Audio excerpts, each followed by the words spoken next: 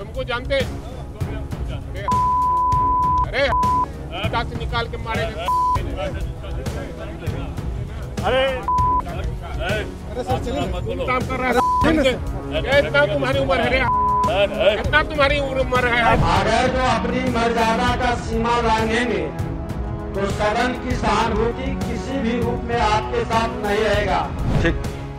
का छूट देने की बात मैंने कहा। आपका एक माननीय सदस्यगण ये ये प्रश्न से जुड़ा हुआ विषय नहीं है फिर भी माननीय मंत्री जी ने जवाब दिया है। जुड़ा हुआ है। आप पढ़िए तो बढ़िया से।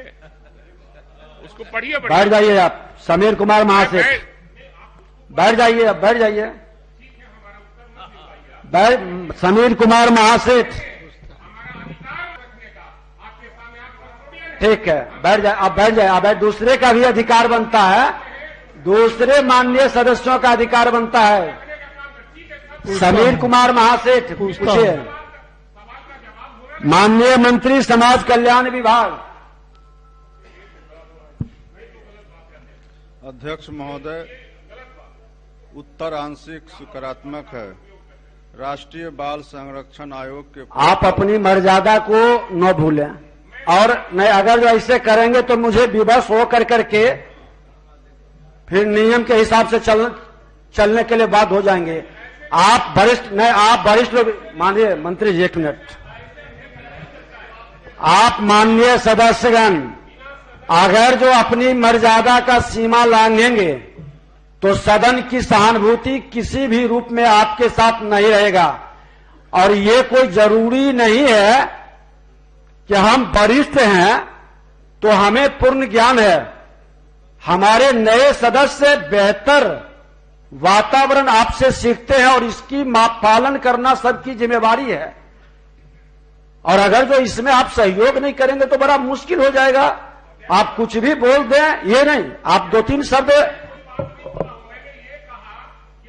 अब आपको आभास नहीं है कि मैं बैठे बैठे या खड़े होकर क्या बोल रहे हैं?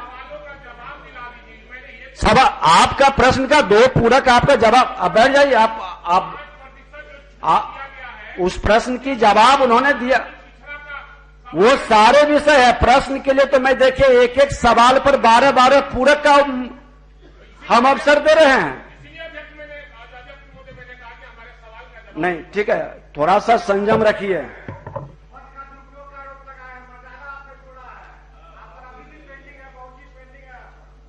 नहीं, ये ये ये शब्द आप, ये एक बार और आपको चेतावनी दिए हैं, ये दूसरी बार है, तीसरी बार